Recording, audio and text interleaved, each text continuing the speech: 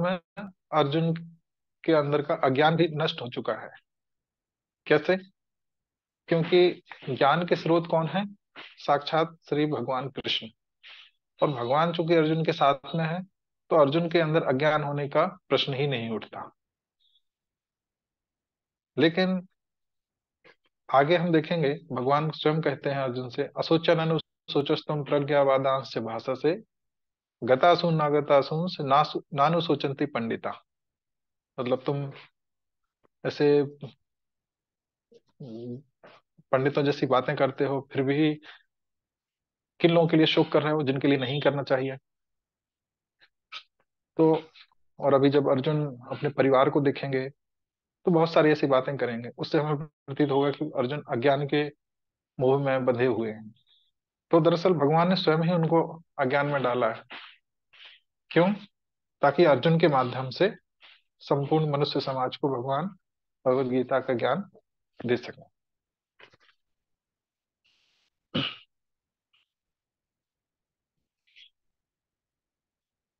तो जब अर्जुन का रथ दोनों सेनाओं के मध्य में पहुँचा और भगवान श्री कृष्ण ने अर्जुन से कहा कि, हे पार्थ, दोनों सेनाओं के बीच में ला चुका हूँ और यहाँ एकत्र हुए, युद्ध के लिए एकत्र हुए सारे गुरुओं को देखो तुम। तो जब अर्जुन देखता है तो अर्जुन को कुल दस तरह के रिश्तेदार मिलते हैं देखने को, जिनका वर्णन छब्बीस एवं सत्ताईसवें श्लोक में किया गया है। पित्रान मतलब पिता पिता महान पितामह आचार्यान भ्रात्रान भाई, मामा, पुत्र, पोता, मित्र, ससुर, और शुभचिंतक, सुहृदा, ससुरान, सखीन, पौत्रान, पुत्रान भ्रात्रान मातुलान, आचार्यान पिता महान पितान। तो पित्रान किसके लिए कहते हैं? पिता के लिए। तो पिता, ऐसा कौन था कुरुक्षेत्र, कौरव पक्ष में जो अर्जुन के लिए पिता तुल्य था? वे थे भूरी श्रवा भूरी श्रवा कौरवों के पक्ष से लड़ रहे थे। भूरी श्रवा कौन थे?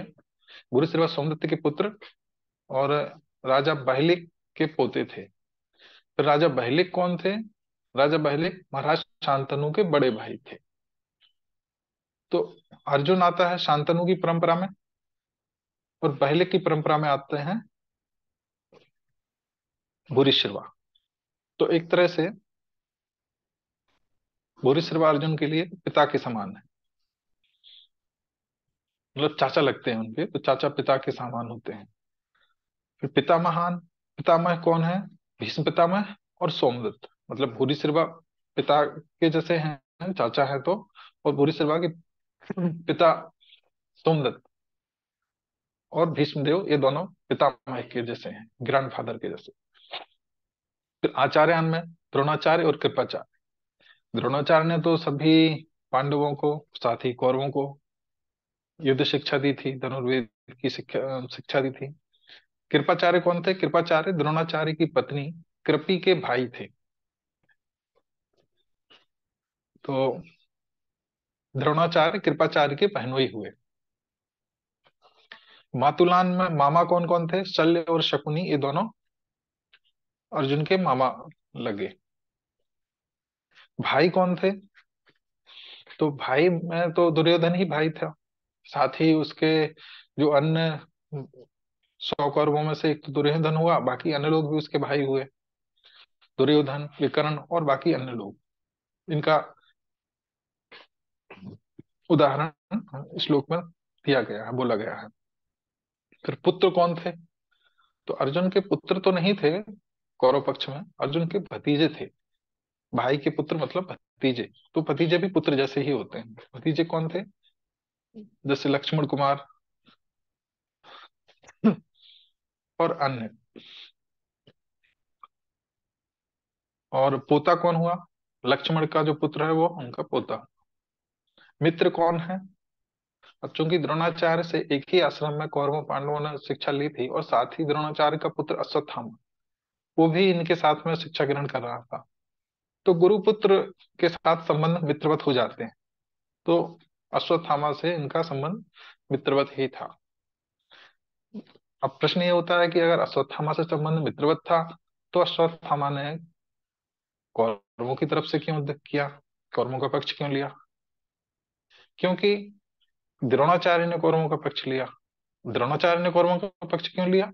क्योंकि द्रोणाचार्य का जो जीविकोपार्जन था, जो धन संपत्ति सब उनको जो मिलता था, वो सब कौरवों, दुर्योधन की ही देन थी। तो द्रोणाचार्य उस ऋण के तले दबे हुए थे। अब चूँकि द्रोणाचार्य उस तरफ़ थे तो फिर अश्वत्थामा को भी उसी तरफ़ जाना पड़ा। फिर ससुर, ससुरान ससुरान में द्रुपद आते हैं। शुभचिंतक कृतवर्मा। तो सुहृद शब्द वास्तव में देखा जाए तो शुभचिंतक हमारे के लिए जो सुहृद शब्द उपयोग किया गया है, वो भगवान श्री कृष्ण के लिए किया जाना चाहिए। और भगवान के शुद्ध भक्तों के लिए। क्योंकि इनसे बड़ा शुभचिंतक संपूर्ण मानव समाज का या सभी जीवों का और कोई नहीं हो सकता। जैसे भागवतम में कहा जाता है तितिक्षुआ कारुणिका सुहृदय सर्वदेही नाम। तो जो साधु लोग होते हैं, वैष्णव होते हैं, वो तितिक्षुआ कारुणिका धैर्यशाली होते हैं, सभी के प्रति करुणामय होते हैं, सुहृदय सर्वदेही नाम। सभी देहधारियों के प्रति सुहृद होते हैं। सभी देहधारियों के शुभ चिंतक होते हैं। सभी देहधारियों में जितने भी जीव हैं, सभी आ जाते हैं। तो इन लोगों को अर्जुन ने देखा। अब इन लोगों को देखने के बाद स्थिति क्या बनती है? अर्जुन को लगने लगता है कि युद्ध करने का जो उनका धार्मिक, उनका कर्तव्य है, वो धार्मिक सिद्धांतों के विरुद्ध है। अर्जुन ने जो अर्जुन को धर्म का ज्ञान था, धर्म विषय संबंधी, उस, उन सिद्धांतों के विरुद्ध उसको युद्ध करना लग रहा था, युद्ध करने का कर्तव्य। कैसे? क्योंकि उसको श्रुति शास्त्रों में अहिंसा के लिए ज़्यादा प्रमोट किया जाता है। हिंसा नहीं करनी चाहिए। तो अहिंसा के तत्व ज्ञान की विकृति के कारण उसको ऐसा लग रहा था। अभी आगे और बताया जाएगा, आगे के श्लोकों में। फिर आता है इतना करने के अर्जुन के कारण। अब जैसे ही अर्जुन ने दोनों सेनाओं के मध्य में खड़े होकर अपने परिवार के सदस्यों को, पिता को, पितामह को और अपने बंधु बांधवों सभी संबंधियों को देखा तो धीरे धीरे देखिए कैसे अर्जुन की मेंटेलिटी चेंज होगी। बीसवें श्लोक में हमने देखा था कि अर्जुन धनुष और बाण लेकर युद्ध करने के लिए उद्यत हुआ। और इक्कीसवें श्लोक में फिर भगवान से कहता है कि हमें ले चलिए, दोनों सेनाओं के मध्य। तो बीसवें श्लोक में जो अर्जुन धनुष तीर लेकर युद्ध करने के लिए तत्पर थे, वही अर्जुन छियालीसवें श्लोक मतलब इस अध्याय के अंतिम श्लोक में पच्चीस श्लोक बाद, छियालीसवें श्लोक तक पहुँचते पहुँचते युद्ध करने का विचार त्याग देते हैं। स्वयं को कौरवों द्वारा मारे जाना ज़्यादा श्रेष्ठ समझते हैं। तो स्टेप बाय स्टेप कैसे हो रहा है? आगे देखेंगे हम 28 से 46वें श्लोक में अर्जुन के युद्ध न करने के कारण आते हैं। इसमें कुल चार कारण अर्जुन ने बताए हैं। तो पहला कारण अर्जुन देते हैं, मित्रों तथा संबंधियों के लिए। ये अट्ठाईसवें से तीसवें। श्लोक तक, तीन श्लोकों में देते हैं। पहला कारण देते हैं मित्रों और संबंधियों के लिए। अट्ठाईसवें से तीसवें श्लोक तक के लिए। तो इसका भगवान खंडन कहाँ करेंगे? दूसरे अध्याय के ग्यारहवें से तीसवें श्लोक तक। बीस श्लोकों में। दूसरा कारण अर्जुन देते हैं, विजयी होने पर भी कोई आनंद नहीं मिलेगा। ये कारण देते हैं इकतीस से पैंतीस थर्टी वन से थर्टी फाइव तक। और इसका खंडन भगवान कहाँ करेंगे? दूसरे, क्योंकि पहले अध्याय में भगवान डायरेक्टली कुछ बोलते नहीं है। तो अर्जुन के जो शंकाएँ जो प्रश्न, शुरुआती प्रश्न हैं, प्रथम अध्याय के, उनका उत्तर भगवान श्री कृष्ण द्वारा दूसरे अध्याय से दिया जाना प्रारंभ होता है। तो जो मित्र संबंधियों को लेकर जो शंका है, उसका उत्तर भगवान देते हैं ग्यारहवें से तीसवें अध्याय में। सॉरी, दूसरे अध्याय के ग्यारहवें से तीसवें श्लोक। दूसरा जो विजय होने पर भी कोई आनंद नहीं मिलता।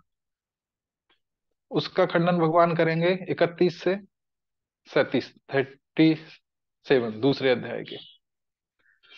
और फिर अर्जुन को लगता है कि पाप के प्रतिक्रियाओं से भय कि अगर मैं इनको मार दूँगा इन सब लोगों को तो मुझे पाप लगेगा। एक ये भी कारण देते हैं। तीसरा कारण, पाप का भय है। तो उसका खंडन भगवान करते हैं दूसरे अध्याय के तैतीसवें श्लोक में और अड़तीसवें से तिरपनवें श्लोक तक। चौथा कारण अर्जुन देते हैं, पारिवारिक परंपराओं का विनाश हो जाएगा। ये उनतालीस नंबर से तैतालीस नंबर तक के श्लोक में देते हैं। इसमें देखेगा तो इसका खंडन भगवान दूसरे अध्याय के पैंतालीसवें छियालीसवें और तीसरे अध्याय के चौबीसवें श्लोक में करते हैं। अब पहला कारण जो अर्जुन का है कि संबंधियों के लिए करुणा और परिणामी शारीरिक लक्षण मतलब अर्जुन के अंदर जो परिवार के सदस्यों को देखा, दस प्रकार के अलग अलग लोगों को तो अर्जुन के अंदर एक करुणा आ रही है। एक्चुअली करुणा नहीं है, मोह है। लेकिन वो मोह करुणा के रूप में प्रस्फुटित हो रहा है और अर्जुन उसको करुणा का नाम देते हैं। तो अट्ठाईस में से तीसरे श्लोक, तीन श्लोकों में बताते हैं, दृष्ट एवं स्वजनम कृष्णा। मेरे प्रिय कृष्ण, मेरे मित्र और मेरे संबंधियों को देखकर, मेरे सामने युद्ध के जोश में उपस्थित हैं जो युद्ध करने के लिए तैयार हैं युद्ध समुपस्थित तो अब अर्जुन को क्या क्या सारे लक्षण प्रकट होते हैं? सीदंती मम गात्राणी। मेरे अंग शरीर के अंग थर थर रहे हैं। अभी मंदिर में प्रातःकालीन जो भागवतम कक्षा चलती है, उसमें कुछ दिन पहले ही हमने देखा था।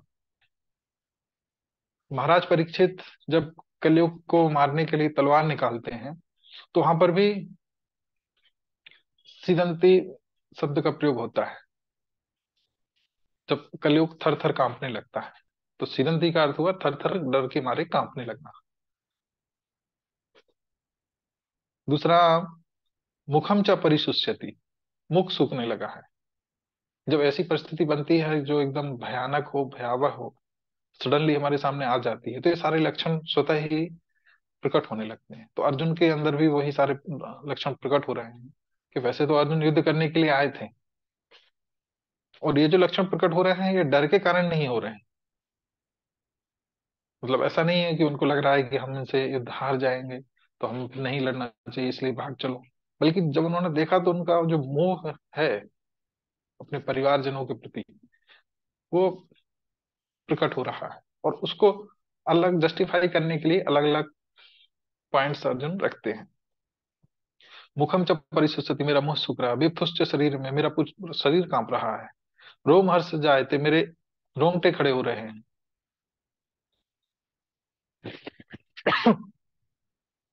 गांडीवम सते हस्तांत। मेरे हाथ से गांडीव जो धनुष है, वो सरकता जा रहा है, खिसका जा रहा है। तो अक्षय परिदेह थे तो मेरी जलने लगी है।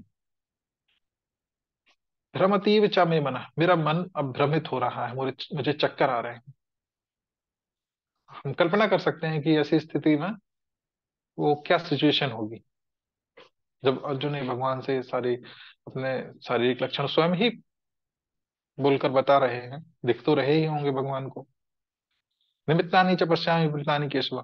तो अर्जुन भगवान को केशव यहाँ पे संबोधित कर रहे हैं, और पहले जैसा कि माधव कहा था तो केसी असुर का वध करने वाले है केशव, मुझे तो केवल अमंगल के कारण दिखाई दे रहे हैं। मतलब ये जो सारे लक्षण अर्जुन के शारीरिक प्रकट हो रहे हैं, ये अमंगल के लक्षण है।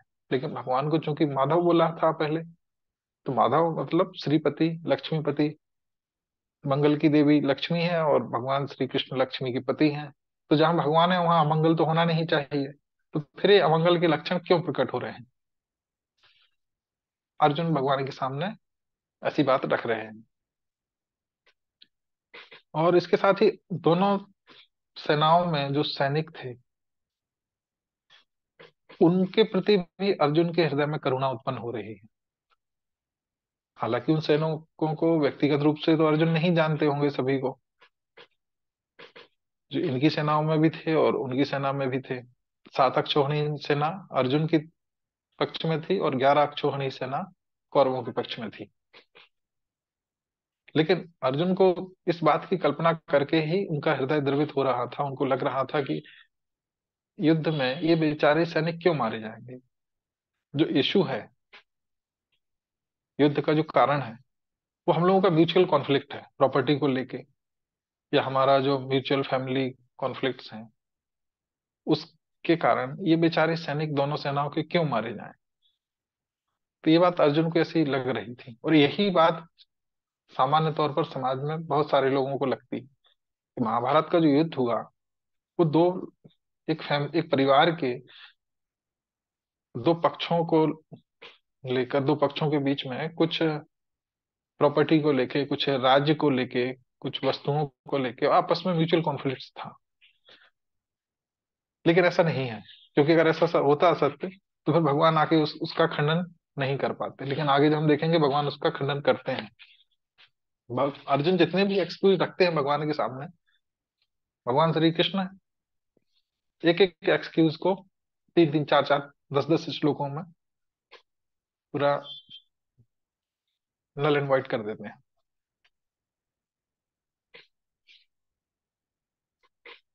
तो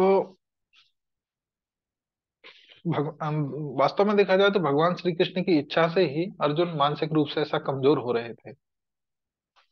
और ऐसा दूसरा कारण ये भी है कि अर्जुन को अपना वास्तविक स्वार्थ पता नहीं था। उस समय भगवान के द्वारा उत्पन्न किए गए ज्ञान के कारण अर्जुन अपना वास्तविक स्वार्थ जो, जिससे उनकी वास्तविक संतुष्टि मिलेगी, वो क्या था? भगवान की संतुष्टि। और भगवान की संतुष्टि किसमें थी? युद्ध किया जाए और युद्ध करके इन सारे लोगों को वध किया जाए। हालाँकि निमित्त मात्र भव सभ्य सांची। भगवान कहते हैं कि तुम्हें सिर्फ़ निमित्त बनना है बाकी इन सारे लोगों को मैं पहले ही उनको मार चुका हूँ। तो दूसरा कारण फिर, पहला कारण अर्जुन ने बताया अपने परिवार संबंधियों के लिए प्रेम। दूसरा कारण, विजय से किसी आनंद की अपेक्षा ना करना। मान लीजिए अगर झगड़ा करते भी लड़ाई, युद्ध करते भी हैं और हम जीत भी जाते हैं तो हमें कोई आनंद की प्राप्ति नहीं होगी, ऐसा अर्जुन का मानना था। उसके पक्ष में अर्जुन कहा कह रहे हैं? इकतीसवें से लेकर पैंतीसवें thirty first to thirty fifth वर्ष में। न च श्रेयो अनुपश्यामी, हत्वा स्वजनम आहवे, न कांक्षे विजयम कृष्ण, न च राज्यम सुखानी च। मुझे कोई अच्छाई नहीं देखती इसमें। इस युद्ध में अपने ही स्वजनों का वध करने से क्या लाभ? और मुझे किसी प्रकार की विजय की अच्छा है नहीं। राज्य की कोई प्राप्ति के प्रति अनुराग भी नहीं है। और क्यों नहीं है? क्योंकि इस संसार में व्यक्ति, कोई भी व्यक्ति, जितने भी कर्म करता है, सुबह से शाम तक, पाप करता है, पुण्य करता है, जो भी करता है, बाहर निकलेगा तो पाप पुण्य होंगे ही। जितने भी प्रयास करता है, जितनी भी मेहनत करता है, वो किस लिए करता है? अपने परिवारजनों के भरण पोषण के लिए। और कुछ भी अगर लेगा, कुछ भी प्राप्त करेगा, कोई उपलब्धि हासिल करेगा अचीवमेंट कुछ लेगा तो शेयर किससे करेगा? कुछ अपने लोगों से, अपने मित्र बंधुओं से, अपने परिवारजनों से, तभी उसका आनंद उत्सव वो मना सकता है। लेकिन अर्जुन का कहना यह है कि मान लीजिए यार, अगर मैं इन सभी को मार देता हूँ और फिर मैं जीत भी गया तो ऐसी विजय किस काम की? क्योंकि विजय का फिर मैं उत्सव किसके साथ मनाऊँगा? मेरे अपने बंधुओं को तो मैं स्वयं ही मार चुका हूँ तो विजय उत्सव मनाने के लिए मेरे साथ कोई कंपनी देने के लिए भी तो होना चाहिए। कल्पना कीजिए, संसार में सिर्फ़ हम अकेले रह जाएँ, संसार के सारे लोग, सारे व्यक्ति सब समाप्त हो जाएँ, सिर्फ़ एक व्यक्ति बचे, वो सिर्फ़ हम बचे। तो वैसे तो देखा जाए तो पूरा संसार हमारा हो गया।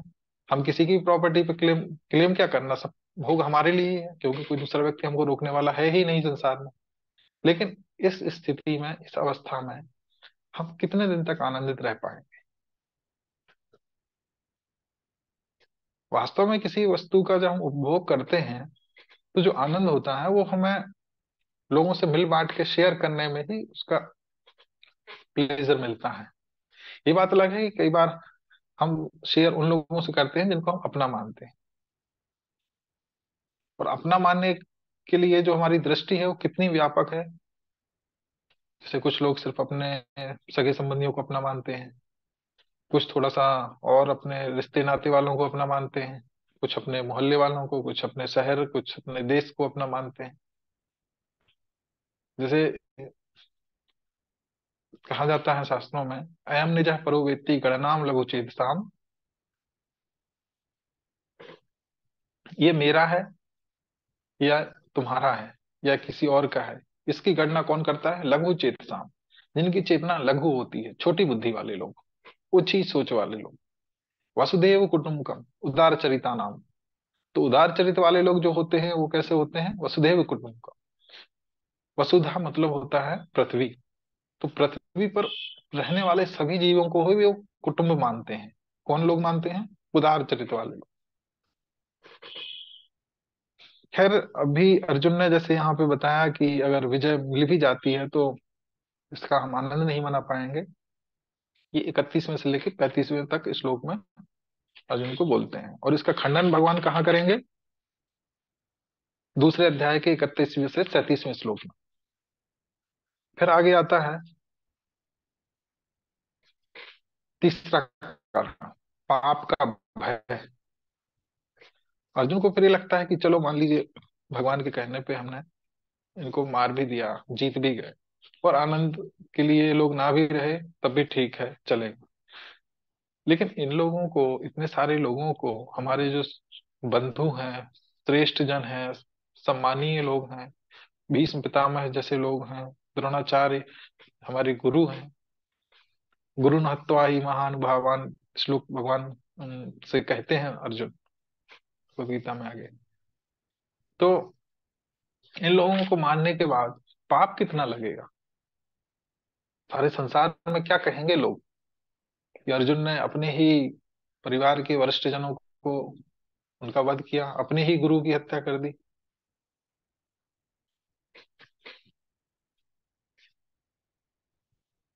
गुरु हत्वानी महानुभावान। तो अगर हम ऐसे आतता जैसे अर्जुन कहते हैं, यदि हम ऐसे आतताइयों का वध करते हैं तो हमें पाप लगेगा। इससे हमें क्या लाभ होगा? हे माधव, अपने ही कुटुंबियों को मारकर हम कैसे सुखी रह सकते हैं? तो इसमें जो आतताई शब्द प्रयोग किया है, इनको आतताई क्यों कहा है अर्जुन ने? शास्त्रों में छह प्रकार की आतताई बताया गया है मनुस्मृति में। एक विष देने वाला, अगर कोई व्यक्ति हमें जहर देता है जहर देकर हमें मारने का प्रयास करता है तो आतताई है। दूसरा, घर में अग्नि जलाने वाला, अग्नि लगाने वाला मतलब कोई हमारे घर में आग लगाने का प्रयास करे। तीसरा, घातक हथियार से आक्रमण करने वाला। अल्टीमेटली वही हुआ कि हमें कोई हमारे प्राण हरने के उद्देश्य से हम पर कोई आक्रमण करे। चौथा, धन लूटने वाला। पांचवा, दूसरों की भूमि हड़पने वाला। और छठवां, पराई स्त्री का अपहरण करने वाला। शास्त्रों में कहा गया है, मनुष्य, मनुस्मृति में कहा गया है कि इन छह लोगों का तुरंत वध कर देना चाहिए। तो एक्चुअली जिस कॉन्टेक्स्ट में मनुस्मृति में कहा गया है, वो पॉलिटिकल अर्थशास्त्र के उद्देश्य जैसे चाणक्य ने अर्थशास्त्र पुस्तक लिखी है, अर्थशास्त्र का मतलब जो बुक है उसमें अर्थ से संबंधित कोई वस्तु नहीं है मतलब वो इकोनॉमिक्स की बुक नहीं है, वो पॉलिटिक्स की बुक है, राजनीति की किताब है। तो अर्जुन कहते हैं कि मान लीजिए अगर मैं इन लोगों का वध कर भी देता हूँ तो जो धर्मशास्त्र के विरुद्ध है, ये तो राजनीति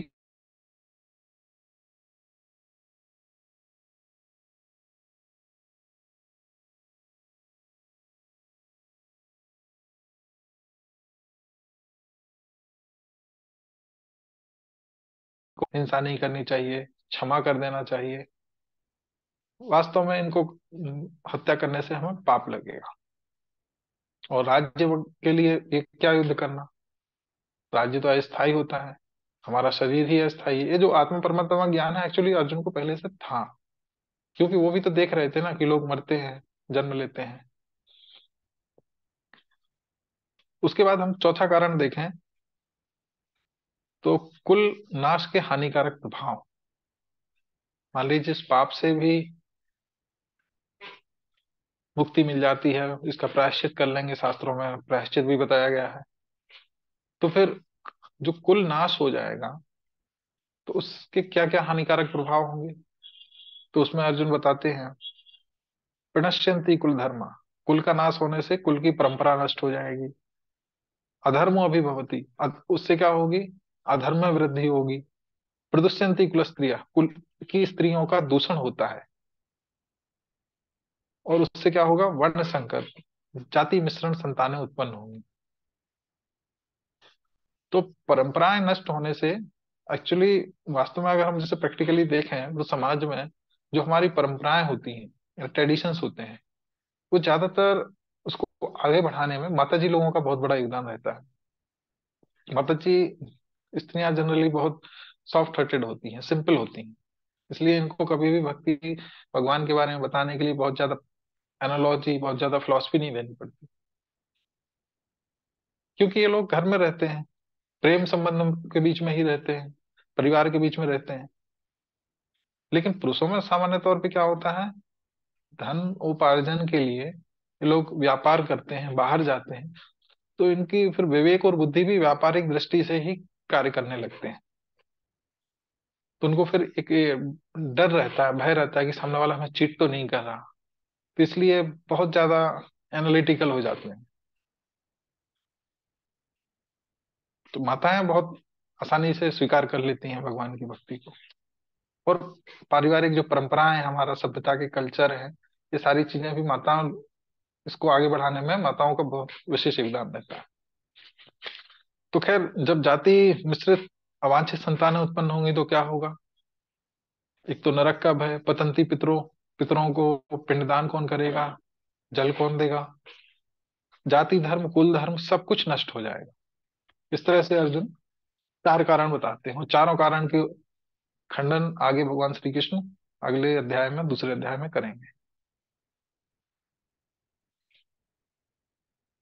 तो हमने जैसे देखा कि बीसवें अध्याय सॉरी इस पहले अध्याय के बीसवें श्लोक में अर्जुन धनुष और तीर लेकर युद्ध करने के लिए उद्यत थे और छियालीसवें श्लोक तक आते आते इस प्रकार कहकर अर्जुन अपना धनुष बाण एक ओर रख दिया अर्जुन ने और शोक संतप्त चित्त से रथ के आसन पर बैठ गया।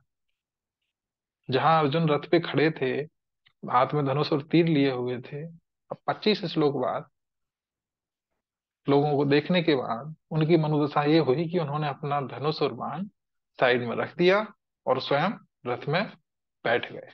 पूरी तरह से उन्होंने निश्चित कर लिया कि अब ये युद्ध नहीं करने वाले। तो अब आगे दूसरे अध्याय में भगवान फिर इनको ये सारे पॉइंट्स जो उन्होंने दिए हैं, इनको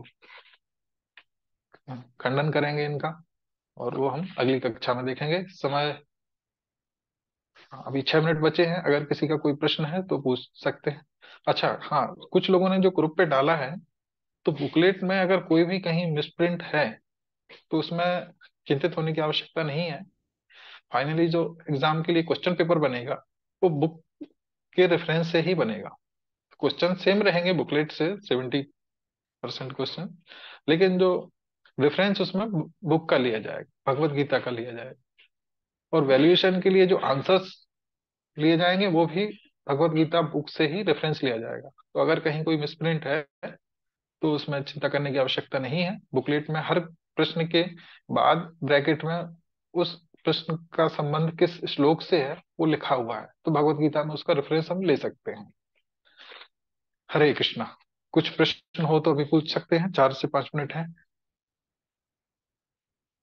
इसके बाद ऑटोमेटिकली डिस्कनेक्ट हो जाएगा ये। और अगर बाद में किसी के मन में प्रश्न आते हैं तो ग्रुप पर डाल सकते हैं। है किसी के कुछ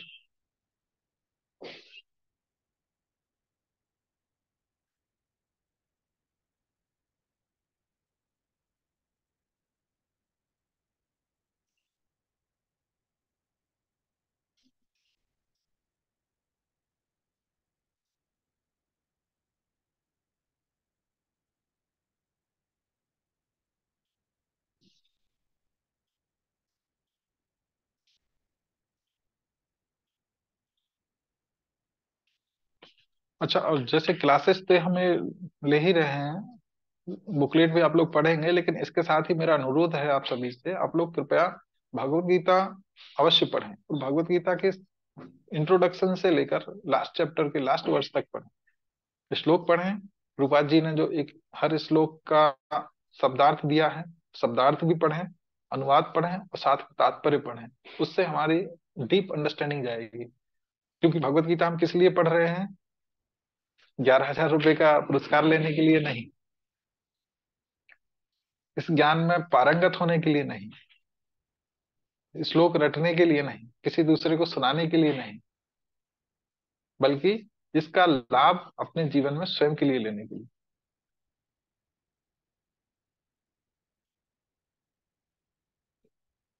क्योंकि सिर्फ़ श्लोक याद करना कहाँ पर क्या है, किस चीज़ के कितने प्रकार हैं ये सब सिर्फ़ याद करना, इससे मैकेनिकल हो जाएगा सब कुछ। मशीनी हो जाएगा। जैसे कंप्यूटर में सारा अगर हम डाटा प्रोसेसिंग कर दें, प्रोग्रामिंग कर दें तो कंप्यूटर में हर कोई सा भी हम क्वेश्चन डालेंगे भगवत गीता से रिलेटेड, उसका आंसर तुरंत आ जाएगा।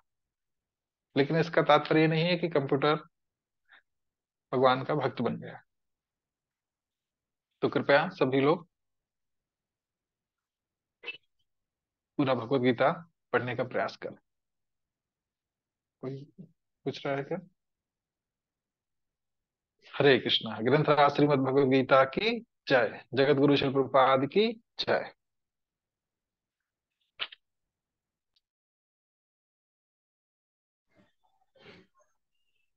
हरे कृष्णा प्रभु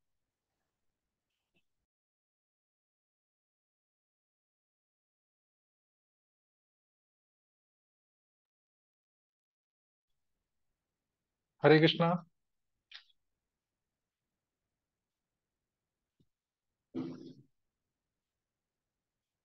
तो टाइम ही हो गया होगा ना पूरा।